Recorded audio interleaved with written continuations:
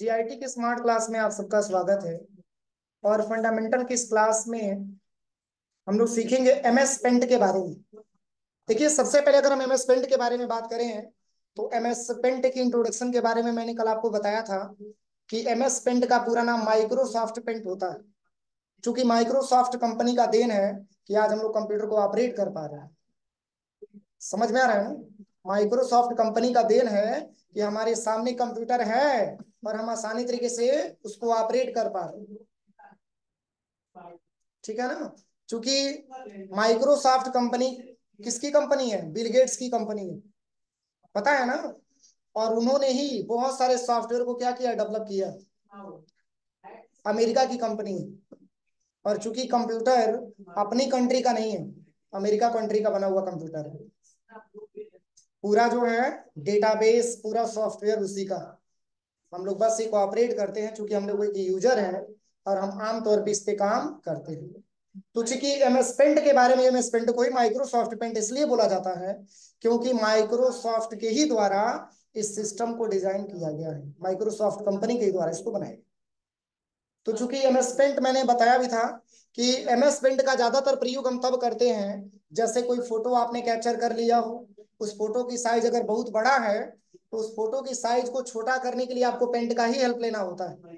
जैसे बहुत बड़े बड़े लेवल के जो फॉर्म भरे जाते हैं, जैसे मान के चलिए एस एस का फॉर्म भरना होता है, या ट्रिपल सी का फॉर्म भरना होता है, या स्कॉलरशिप का फॉर्म मतलब ऐसे बहुत सारे फॉर्म भरने होते हैं, जिसमें फ़ोटो सिग्नेचर और थंब को स्कैन करके अपलोड करना होता है। जिसके लिए बहुत ज़्यादा रिक्वायरमेंट होती है तो वो है आपका एम एस पेंट की सॉफ्टवेयर जिसके माध्यम से हम किसी भी फ़ोटो को रिसाइज कर पाते हैं, उसको रोटेट कर पाते हैं, हम आसानी तरीके से, व्यवस्थित तरीके से करके और तब जाकर के हम अपलोड करने का काम करते हैं। तो ये हमारा एमएस पेंट की सॉफ्टवेयर होती है। और एमएस पेंट की सॉफ्टवेयर एक प्रकार का सिस्टम सॉफ्टवेयर है, ठीक है ना? और इसको हम ओपन कैसे करते हैं? तो मैंने आपको कल भी बताया था कि किसी भी सॉफ्टवेयर को ओपन करने का जो तरीका होता है विंडो प्लस आर दबाते हैं और यहाँ पे हम टाइप करेंगे क्या? एम एस पेंट बस यहाँ पे आपको एम एस पेंट टाइप करना है। जैसे ही एम एस पेंट लिख करके और एंटर बटन प्रेस करेंगे तो आपके सामने ऐसा इंटरफेस आ जाएगा, देखिए। एम एस पेंट की सॉफ्टवेयर ओपन हो जाएगी। मैंने कल की क्लास में इंट्रोडक्शन के बारे में मैंने आपको बताया ही था। कि इसका क्या प्रयोग है? मैंने बताया था ना? किस ऑप्शन का क्या नाम होता है? सबसे टॉप वाले का नाम मैंने क्या दिया था?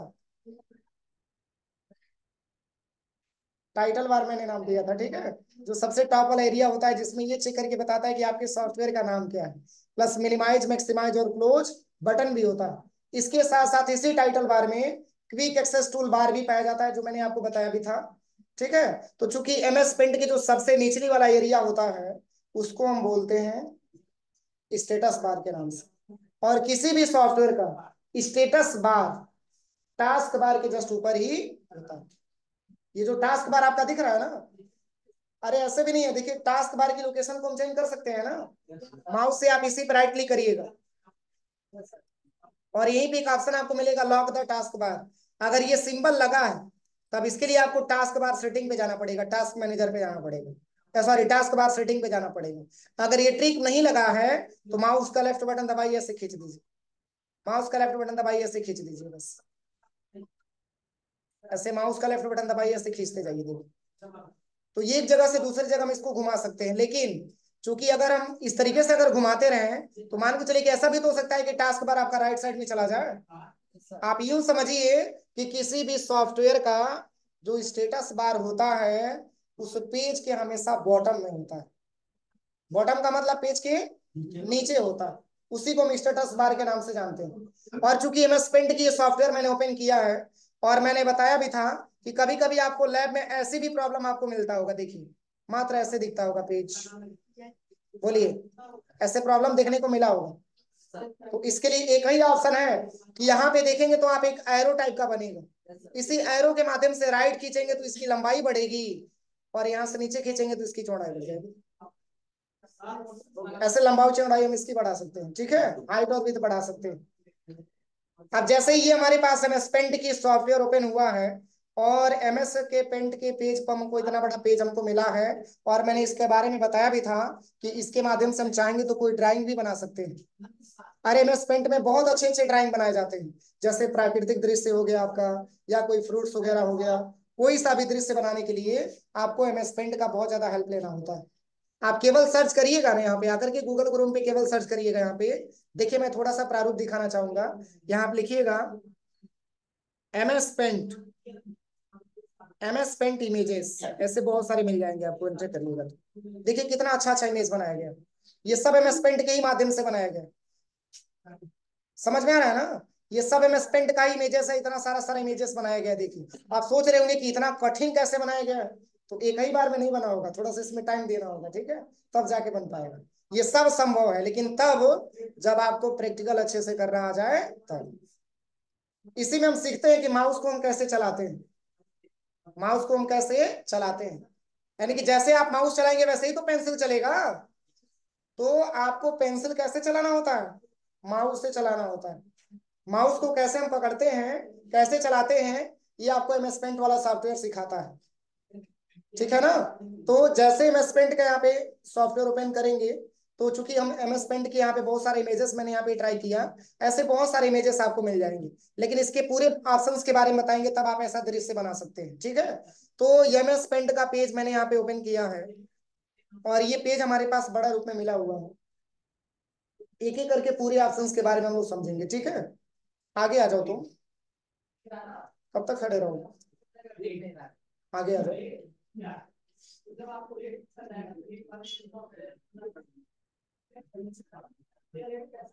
अब क्योंकि इससे ब्राइटनेस ज़्यादा हो तो आपको प्रॉब्लम आएगी। समझ में आ रहा है ना? इसलिए ब्राइटनेस इसमें नॉर्मल किया गया। और चूँकि केवल ये खुले होने की वजह से इसमें थोड़ा सा लाइट का प्रभाव आ रहा है, ठीक है? इसकी वजह से बैठ जाइए। चलिए, देखिए, यहाँ पे सबसे पहले आपका कट और कॉपी दिया हुआ। क्या दिया? कट और कॉपी। क्या हाईलाइट दिख रहा है? हाईलाइट क्यों नहीं दिख रहा? क्योंकि मैंने नहीं तो कोई टेक्स्ट लिया है और नहीं मैंने कोई सेप लिया है। तो हाईलाइटेड दिखेगा कैसे? समझ में आ रहा है ना? तो कोई एक सेप ले लीजिए। फॉर एग्ज़ाम्पल मैंने ये वाला सेप ऐसे ड्रैग एंड ड्रॉप कर लिया ठीक है ना? ऐसे ड्रैग एंड ड्रॉप कर लिया क्या अभी भी हाईलाइटेड है? नहीं हाईलाइटेड है क्यों? क्योंकि मैंने सिलेक्शन नहीं किया है। और एक चीज़ क्लियर करिएगा कट और कॉपी ऑप्शन तभी हाईलाइट होगा जब आप किसी डेटा को सिलेक्शन करेंगे। बगैर सिलेक्शन का कट और कॉपी ऑप्शन हाईलाइट नहीं हो सकता। तो कट और कॉपी ऑप्शन को हाईलाइट करने के लिए आप सबसे पहले रेक्टेंगुलर सिलेक्शन पे आ जाइए। और यहाँ से लेकर के यहाँ तक आप इसको सिलेक्शन कर लीजिए। अब हाईलाइट हुआ। तो कट का क्या प्रयोग है और कॉपी का क्या प्रयोग कट का मतलब एक जगह से हटा करके दूसरे जगह लेके जाना, उसको हम कट बोलते हैं। जैसे मान के चलिए कि यहाँ पे जो है स्मार्टफ़ोन रखा हुआ है, इस स्मार्टफ़ोन को मैंने यहाँ से हटा करके कहीं और ला करके रख दिया, इसको हम कट पेस्ट बोलते हैं। समझ में आ रहा है ना? इसको हम कट पेस्ट बोलते हैं। बहुत ही सिंपल लैंग्वेज में आप समझिए। तो जैसे आप यहाँ पे इसको कट करेंगे, और तब जाकर के अगर आप पेस्ट करते हैं तो एक लोकेशन से दूसरे लोकेशन पे आ क्या पहले इमेज यहीं पे था? थोड़ा सा और राइट साइड में था, लेकिन जैसे ही मैंने पेस्ट किया तो थोड़ा सा चेंज हो गया। और यहाँ पे एक स्टार टाइप का सिंबल भी बनता। है इसके माध्यम से अभी आप इसको मूव करा सकते हैं, जहाँ पर भी आपको रखना है। अब मूव नहीं करेगा, क्योंकि सिलेक्शन से बाहर हो चुका है। अब मूव तब करेगा जब आप सिलेक्शन पे आइए और रेक्टेंगुलर सिलेक्शन लेकर के आप इसकी सिलेक्शन कर लीजिए। अब इसको आप जहाँ पर भी घुमाना चाहते हैं, घुमा सकते हैं। जहाँ पर भी लेके जाना चाहते हैं, लेके जा सकते हैं। कोई दिक्कत? तो ये आपका कट पेस्ट होता है। अब कॉपी का क्या प्रयोग है? तो जैसे मान के चलिए, हम ऐसा सेप मैंने बना दिया। अब चाह रहे कि यही शेप हम कई जगह बना दें। तो ऐसे बनाएँगे तो लंबा टाइम लगेगा। लेकिन इसी को अगर आप कॉपी पेस्ट करना चाहते हैं तो देखिए कितना इजी मैं बता रहा हूँ आपको, देखिए। पहले तो आप क्या करिए सिलेक्शन पे आ जाइए। और यहाँ से ले लीजिएगा रेक्टेंगुलर सिलेक्शन और यहाँ से लेकर के यहाँ तक आप डेटा को सिलेक्शन कर लीजिएगा। एक्स्ट्रा सिलेक्शन मत करिएगा यहाँ तक, ठीक है? उतना ही सिलेक्शन करिएगा कि जितना आपका सेप है। अब यहाँ से आप कर लीजिएगा कॉपी क्या करना है? कॉपी अब शिफ्ट के साथ इसका ऐसे शिफ्ट के साथ नहीं सॉरी कंट्रोल के साथ ऐसे खींचते जाइए। किसके साथ? कंट्रोल के साथ। कंट्रोल को दबाए रखिए और माउस का लेफ़्ट बटन दबा करके ऐसे ड्रैग एंड ड्रॉप करते जाइए, देखिए। कितना इजी कोई दिक्कत? एक, मैंने सेप लिया और इसी का डुप्लीकेट बनाने के लिए मैंने कॉपी कर लिया। एक बार और समझिए, अभी समझ में नहीं आया होगा। एक बार और समझिए। सबसे पहले यहाँ से हम एक सेप ले लेंगे और इसी का कई सारा डुप्लीकेट हमको बनाना है, कॉपी पेस्ट करना है तो पहले तो हम सिलेक्शन पे आ जाएँगे। और यहाँ से ले लेंगे रेक्टेंगुलर सिलेक्शन और यहाँ से लेकर के यहाँ तक हम डेटा को क्या कर लेंगे? सिलेक्शन कर लेंगे। सिलेक्शन करने करने के बाद कंट्रोल सी होता ही है कॉपी करने का ऑप्शन या तो कंट्रोल सी दबाइए नहीं तो आप यहीं से कॉपी कर लीजिए। अब फ़ायदा क्या होगा? आप कंट्रोल बटन दबा लीजिएगा और माउस का लेफ़्ट बटन दबाने के बाद जितने बार माउस का लेफ़्ट बटन दबा के ड्रैग एंड ड्रॉप करेंगे उतने बार इसका डुप्लीकेट बनता जाएगा।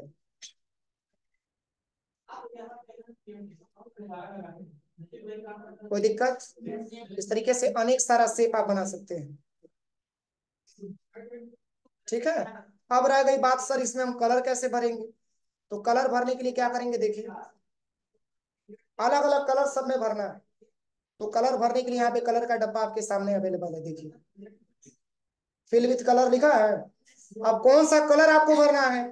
तो यहाँ से आप अपनी रिक्वायरमेंट के हिसाब से पहले कलर आप डब्बे में ले लीजिए। मैंने ग्रीन वाला कलर ले लिया।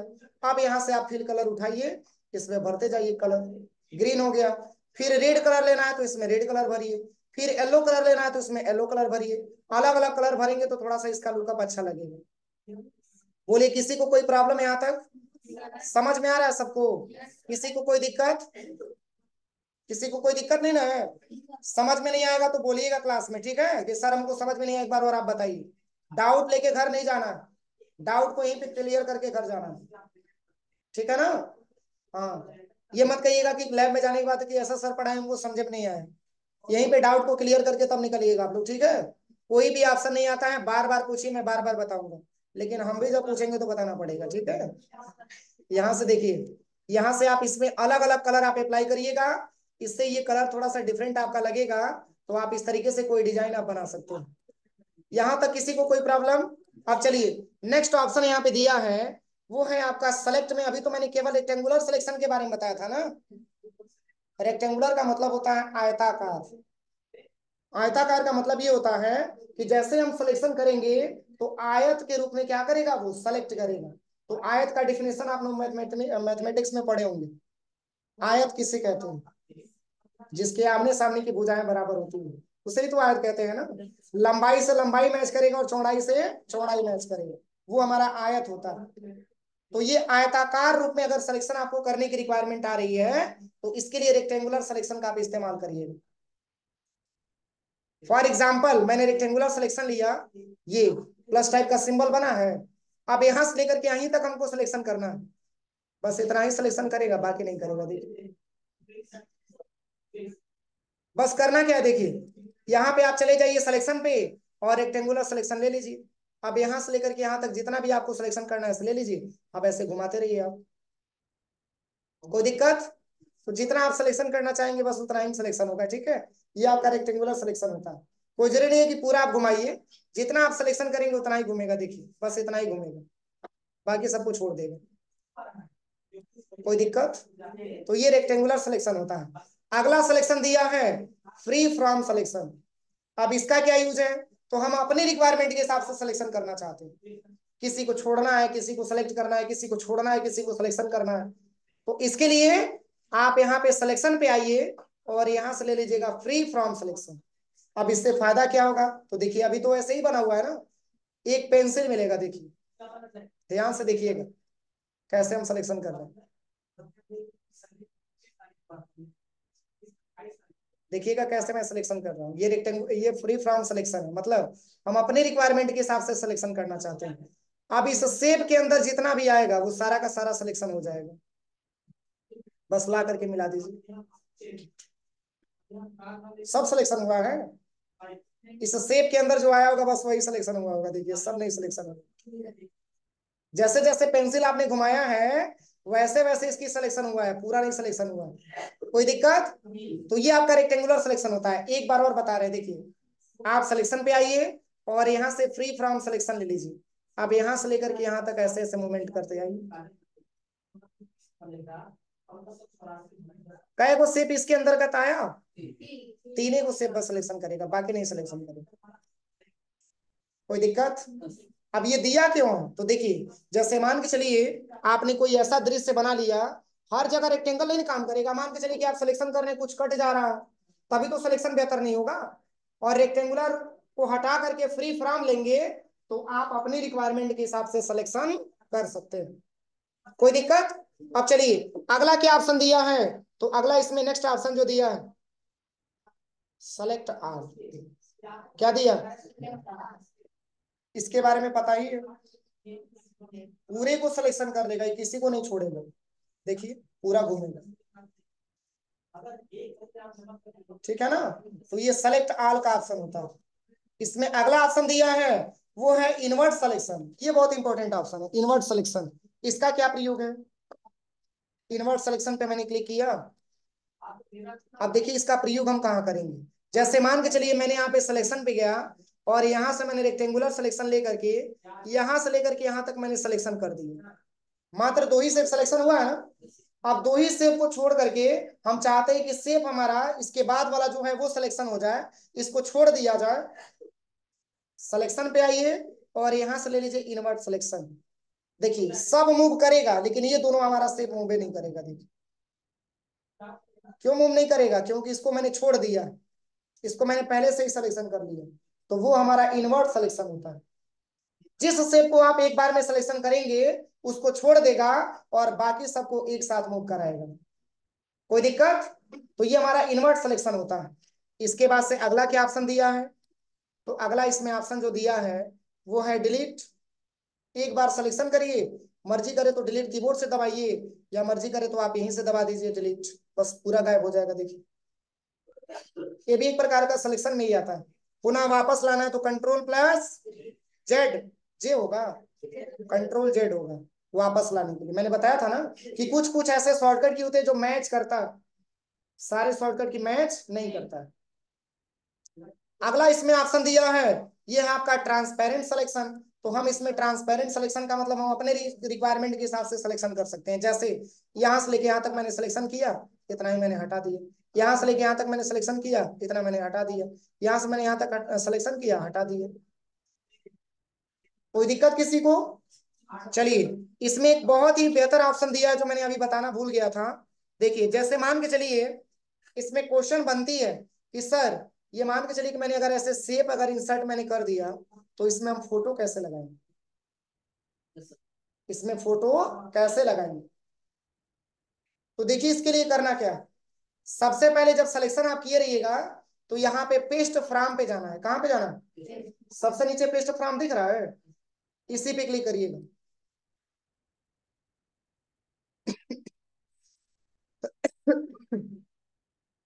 क्लिक करने के बाद, कोई सा भी एक फ़ोटो आप ले लीजिए जो फ़ोटो आप लगाना चाहते हैं।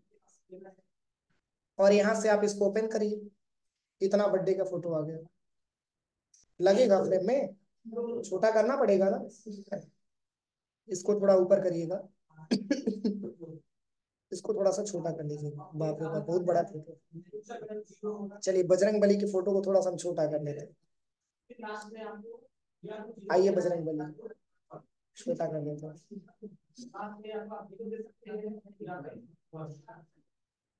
बहुत बर्थडे के हैं बजरंग बली।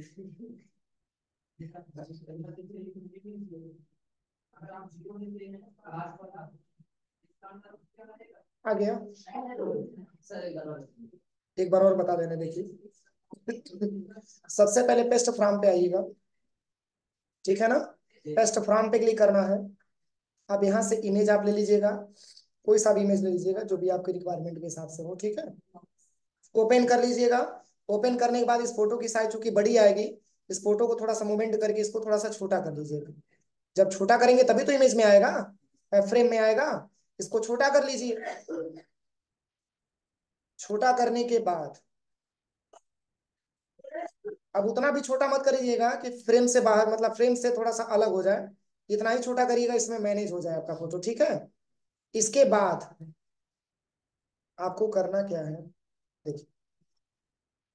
मैनेज हो गया ना? अब देखिए करना क्या है। अब फ़ोटो को थोड़ा सा मूव कराना चाहते हैं, थोड़ा सा राइट साइड में चला जाए, तभी तो दूसरा इमेज लगाएँगे। इसके लिए आप आ जाइएगा सिलेक्शन पे। कहाँ पे आना? सिलेक्शन पे। और यहाँ पे ले लीजिएगा रेक्टेंगुलर सिलेक्शन और यहाँ से लेकर के यहाँ तक आप इसको सिलेक्शन कर लीजिए करने के बाद आप इसको उठा के लेके और राइट साइड में चले जाइएगा।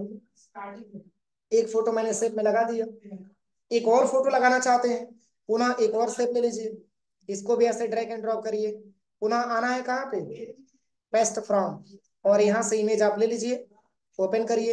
ये भी बहुत बड़ी है। इसको भी छोटा कर लीजिए। इसको भी छोटा कर लीजिए। हाँ? हाँ बिल्कुल कर सकते हैं, कोई दिक्कत नहीं।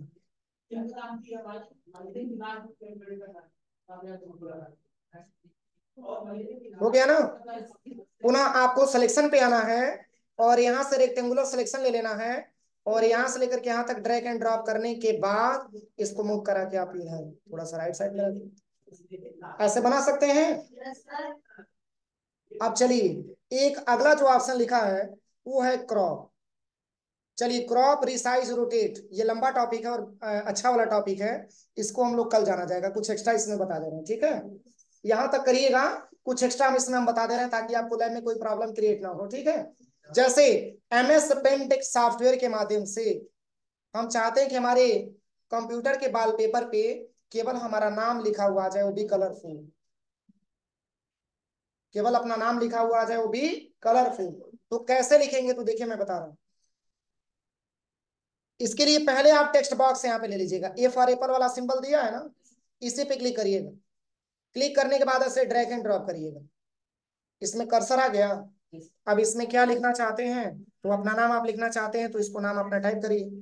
जैसे मैंने पी ठीक है? और आर डिफरेंट कलर से देना चाहते हैं। फिर आर आप ये कलर ले लीजिए। फिर ए ब्लैक कलर में देना चाहते हैं। ए ब्लैक कलर में ले लीजिए। डी ग्रीन कलर में देना चाहते हैं। यहाँ पे डी लिख लीजिए। ई e जो है ये कलर में देना चाहते हैं। बस। दूसरा ई e इस कलर में देना चाहते हैं। और एक पी लेटर है इस कलर में देना चाहते हैं। क्या चीज़? चेंज हो जाएगा। अब कौन सा स्टाइल है इसका? फॉन्ट की स्टाइल तो फॉन्ट में बहुत सारा फॉन्ट दिया है। आप यहाँ से कोई सा भी फॉन्ट ले लीजिएगा, जो भी आप, जो भी आपको अच्छा लगे यहाँ से। इसमें अलग अलग फॉन्ट आप ले सकते हैं, बहुत सारा दिया है। मैं एक बता दे रहा हूँ, उसके रिक्वायरमेंट के हिसाब से आप अपना करिएगा प्रैक्टिकल ठीक है? ज़्यादा फॉर्मेटिंग हो जाएगा तो अच्छा ही नहीं लगेगा। देखिए, कितना अच्छा लग रहा है। देखिए, कितना अच्छा लग रहा है।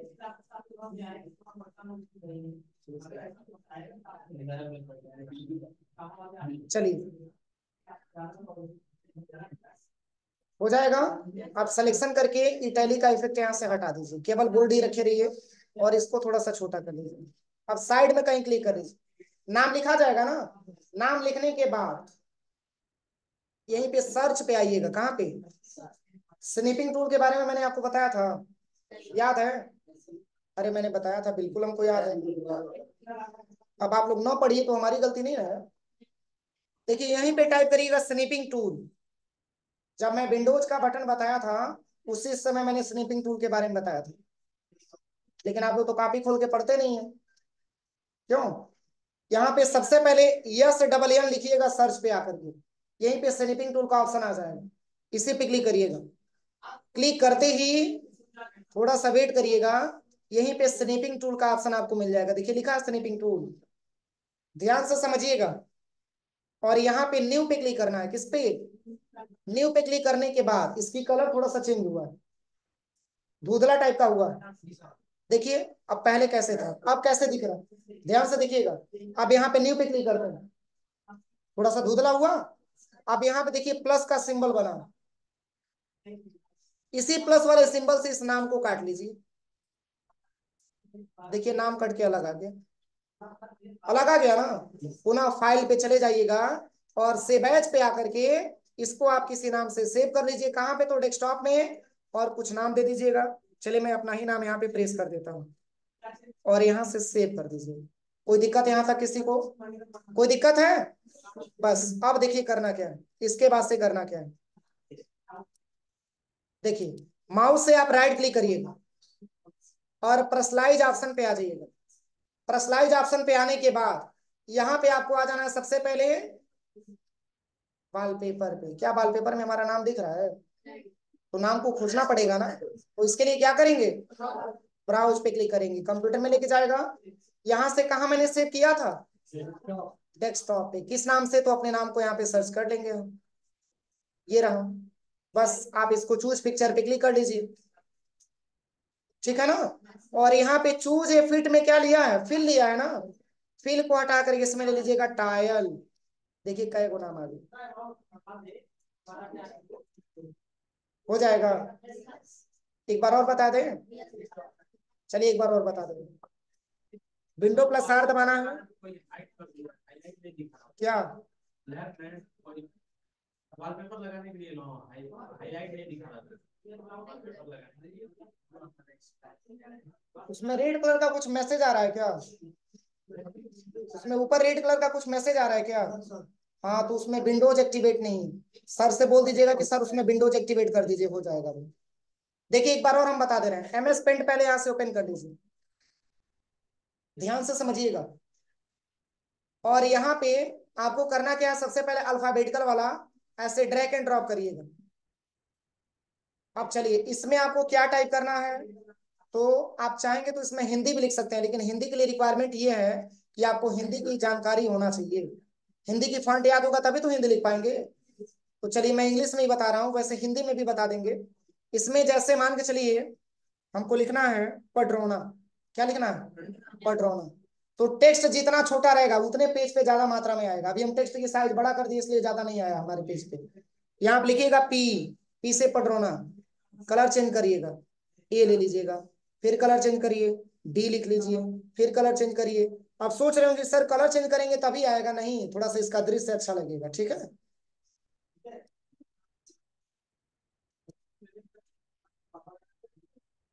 चलिए, लिख दिया मैंने पटरोना इसको सिलेक्शन करके थोड़ा सा छोटा कर देते हैं, क्योंकि बहुत बड़ा ये हो जा रहा है।